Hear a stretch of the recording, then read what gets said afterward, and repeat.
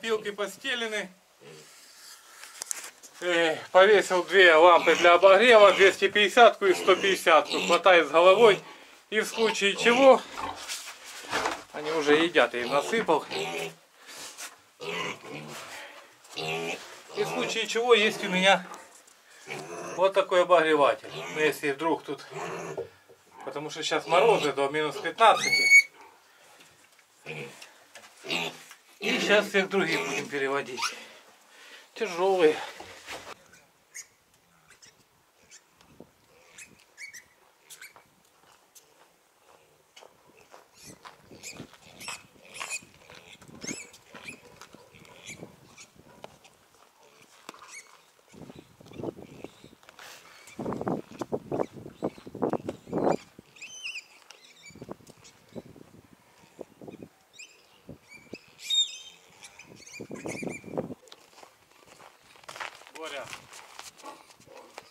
Друзья, также сейчас переведем поросят. Взвесим одного поросенка. И я покажу, как я стартую, когда забираю поросят от свиноматки. Что я делаю, какой корм, как стартую, с чего начинаю кормить. Ну и в основном у меня поносов нету у поросят. Как это все происходит, тоже покажу. Поэтому смотрите, кому интересно. Вот, это пишу. Я там. А вот кастрирован.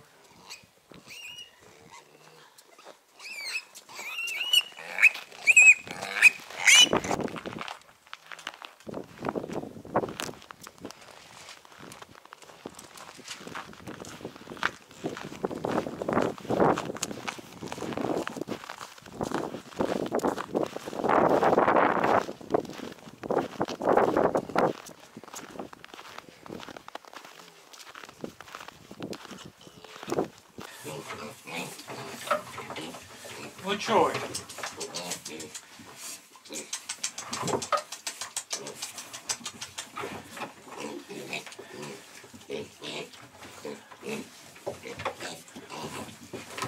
Сразу как едят хорошо. Я их пока делал отъем и приучал чуть-чуть до корма. Они при старт ели хорошо. И также с ней вместе ели хорошо я ее колотил со стартовым кормом. И сейчас будем делать им корм, как я всегда делаю.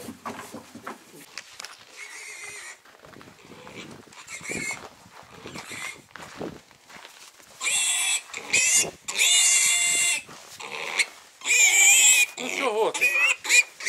Это хряк у нас с яичками. Это получается есть меньше него и один есть больше него. То есть я взял среднего. Узнаем какой вес. Так, ну вот, нули. А ну,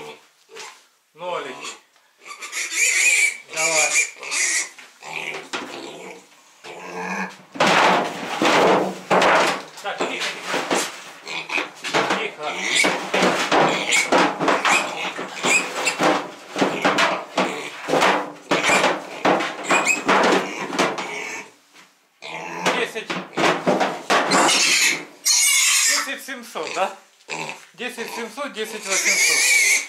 Ох ты хорошо, за 30 дней и 6, за 36 дней. Вот дюрочки. Это кабасика. Кабасика нам заказывали. Да. Вот так. Все, домой. Домой пошли. Так, друзья, ситуация в следующем. Я думал, каштана заберу покрывать Машку. А Машки я забрал четырех поросят, у нее было 9. Четырех приехали, купили, осталось 5. И она загуляла вместе с этими пяти поросятами. И, короче, ждем следующий загул, поэтому пока перегоню, где были поросята маленькие, и сделаем тут калитку. Так, пошли, пошли. Давай, пошли, пошли, пошли, пошли. Вообще не попутала.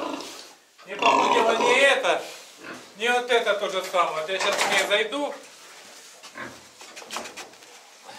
Рыжка. Вот, это забрали поросят и покрыли ее.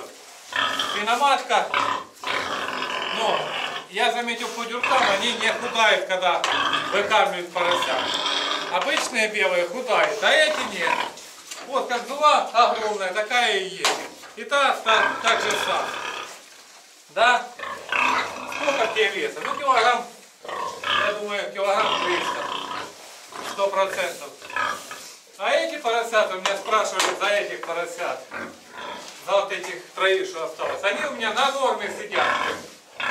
80% зерновой группы и 20 гороха. И 3 килограмма в сутки накармливают. Давай. Давай. Рыба, пошли. Да. Ты хоть не загул? Да нет. Хорошая девочка. Вот те у меня получается на норме сидят. У меня этот сарай не предназначен на откорм, поэтому сидят на норме, как и все. Может быть, кого-то из них оставлю на свиноматку. Это все-таки, получается, дети киевской генетики. Может, белую оставлю. Ну, то есть посмотрю.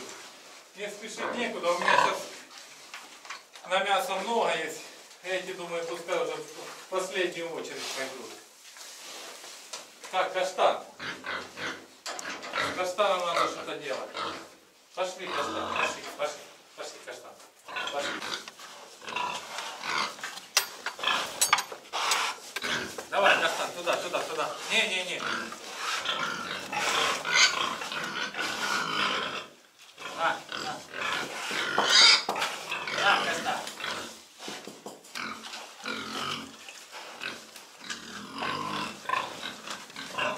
Вот, друзья, выманили его.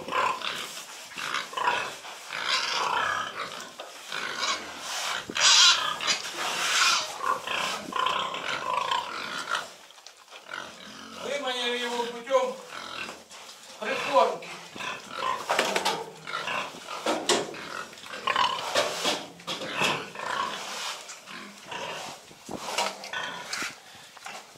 Ну сколько в каштане? Ну я думаю тоже не меньше 250. Давай, каштан туда, давай. Давай, давай. Ну, каштан, давай, давай. Давай. Сейчас мы начнем делать стартовый корм для поросят. Как я делаю? Поросята у меня хорошо едят предстарт. Сам предстарт я дроблю тоже, то есть гранулой я не пользуюсь. Я вообще категорически противник гранул. Вот предстартовый корм, я его перебиваю в манку. Ну, пропускаю весь через крупорушку. Они лучше едят. И начинает у меня его употреблять, грубо говоря, с 10 дня. Бывали случаи и с 9 8 уже начинали что-то там нюхать, что-то при... Предстарт я дроблю, они у меня хорошо едят предстарт. Свиноматку я кормлю кормом со стартовым. Они со свиноматкой едят. Я сейчас делаю э, корм уже для этих поросят, которых я забрал от свиноматки. И начну подмешивать в предстарт. Потихоньку-потихоньку и дня за 4-5 за 5 перейдем полностью на стартовый корм. Стартовый корм. БМВД водолага. Старт 25%. И рекомендуется заводом, там где мы производим БМВД. Рекомендуется БМВД 25%, кукурузы 25%, пшеницы 25%, ячмень 25%. Но я ячмень вообще не даю маленьким, когда после отъема. Хотя у меня сейчас есть ячмень, там пару бочек, но я его не даю, пока вот это забрал их от свиноматки. Я потом уже после там двух месяцев начинаю давать. То есть я сейчас дам кукурузу, пшеницу и стартовый корм белково-витаминную, минеральную добавку, водолагу. Делаем так. Я сейчас, чтобы было понятно всем, я сделаю 20, ну, грубо говоря, 20 килограмм стартового корма. Я беру, если следовать рецептуре заводской, надо все по одной четвертой. То есть одну четвертую пшеницы, одну четвертую ячменя, одну четвертую кукурузы и одну четвертую старта. Я делаю сейчас 50% пшеничной группы.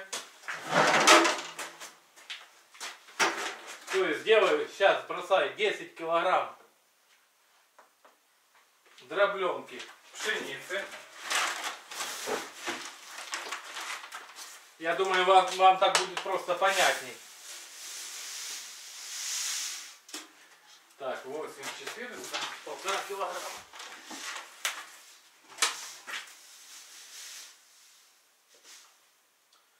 Вот, 10 килограмм пшеницы. Засыпаем в бетономешалку. Нули. 5 килограмм кукурузы. Почему я не даю маленьким поросятам ячмень? Потому что там вот эти устюки из-за устюков. Ну, я считаю, мое мнение, оно им раз, раздражает, раздражает пищевой тракт, то есть желудки. Поэтому, ну, я, я не даю, короче, ячмень. 5 килограмм кукурузы. У нас уже общей зерновой группы 15 килограмм. И мне сейчас, по идее, надо дать МВД старта тоже 5 килограмм. По идее, по заводским нормативам. Тоже 5 килограмм. Но я не даю 5 килограмм. Я даю только 3 килограмма. То есть 2 килограмма я не додаю. И нормально они идут, хорошо идут, но зато у них нет ни отечек, ну и поносов как бы в основном нету. Может стрельнуть, ну не было последнее. Я что делаю? 3 килограмма стартового БМВД. Так, хоп. Вот так, 3 килограмма 40 грамм. 3 килограмма 40 грамм. И все, у меня получилось 18 килограмм готового корма, 18 килограмм. Я не додал 2 килограмма именно БМВД стартового, чтобы не было никаких, ой, мама, рятуйте. Поэтому я как бы перестраховываюсь и даю меньше. Насчет гранулы. Стас, как ты смотришь на гранулу, на гранулированное на гранулирование кормов? Скажу свое мнение. Никак.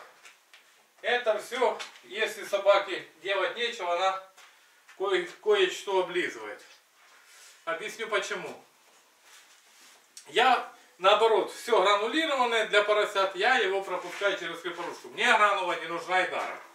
Говорят, та гранулированная корма, меньше пыли, и они типа меньше вдыхают эту пыль, легкие не забиваются у них, а так забиваются легкие, если не гранула. Дыхательные пути забиваются, друзья. Уже не один десяток пустили на мясо, не один десяток. И все легкие я пересматривал, все дыхательные пути пересматривал. Легкие надувал специально, сколько варили, ели.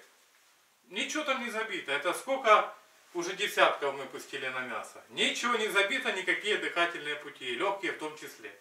То есть нормально. Если вы хотите избежать самой пыли, пыли в сарае, и то есть, чтобы они не так типа дышали этой пылью, добавляйте в обычную дробленку, ну вот такую, осадок из подсолнечного масла. То есть осадок из оливии.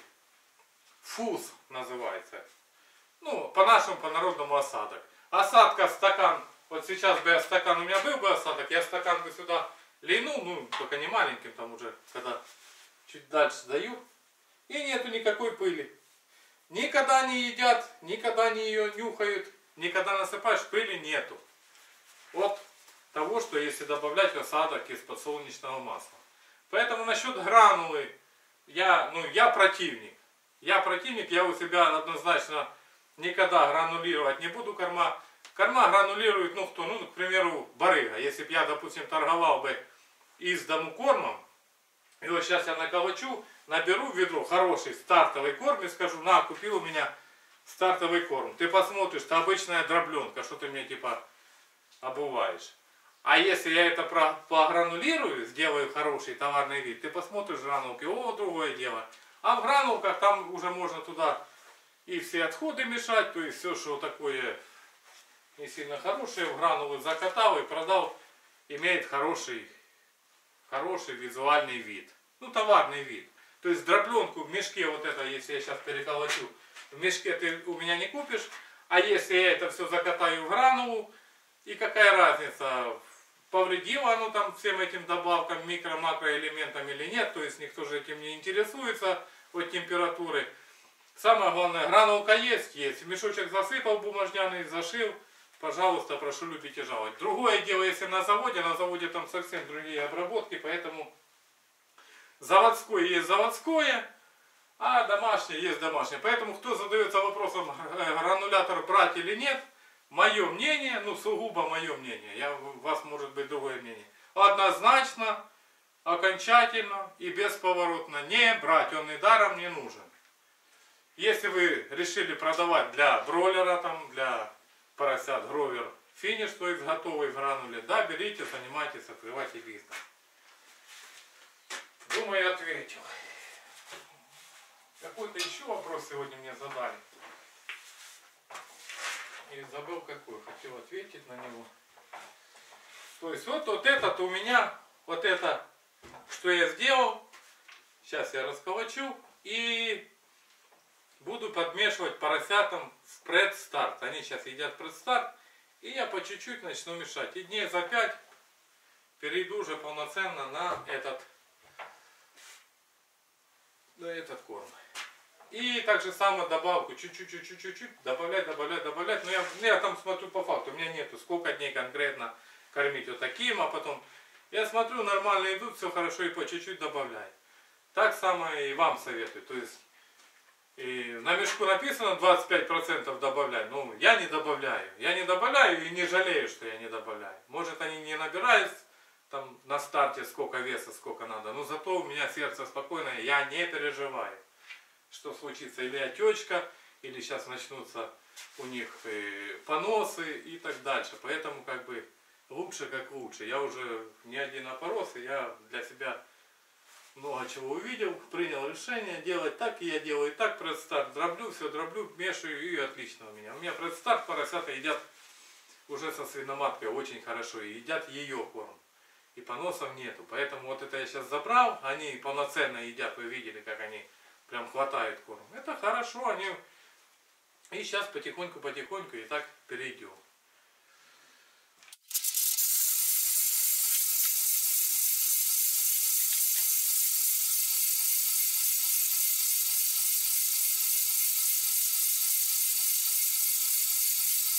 А также насчет экструдированного корма спрашивали. Насчет экструдированного корма вообще я вам сказать ничего не могу так как никогда не пользовался и не делал никогда эксплуатированный корм. Поэтому как бы ну, в, в этом вопросе я вам не советчик в экструдированном корме.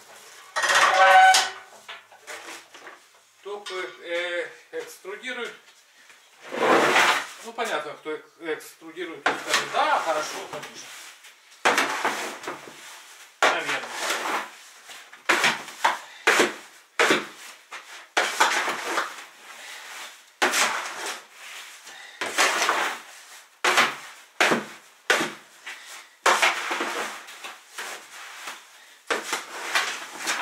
Перемешалось в бетономешалке, я просто, ну как бы для себя, наверняка.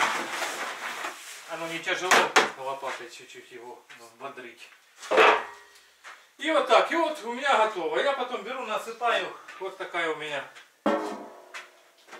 посудина есть. Беру лайт, лайт, хаковский ковшик. И вот тут насыпаю. Я отсюда беру по чуть-чуть вот так. им подмешиваю и отношу насыпаю. Насыпаем сразу не так, что вдоволь. Они сколько хотят, сколько едят. Раза два-три в день сходил, насыпал, и так дня три-четыре понемногу сыплю. Потому как лучше как лучше.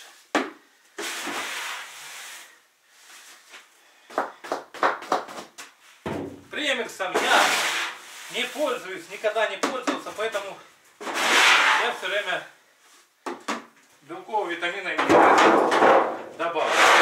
Да, может быть, когда-то в будущем и начну заниматься. Я и планировал в этом году суи набрать. Она недалеко от нас была по, по 11 или по 12 за килограмм. Но я хотел и так и не взял. Все. И для того, чтобы запах не выходил, так накрыл. И вот у меня проект старт, а вот старт.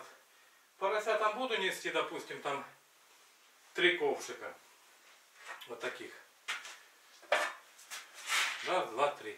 И вот два с половиной насыплю предстарта, пол ковшика старта. И потом уже два предстарта, ковшик старта. И так по чуть-чуть, по чуть-чуть и перейдем полностью на старт. Ну тут у меня предстарта, грубо говоря, мешок дробленый. То есть хватит еще на один выводок, еще на один опорос. Сейчас жду опорос и хватит туда. То есть предстарта много не уходит. Ну вот так. Думаю, на все вопросы ответил. Рассказал свое мнение, то есть там, те, кто меня сильно любит, в скобках, не осуждайте строго.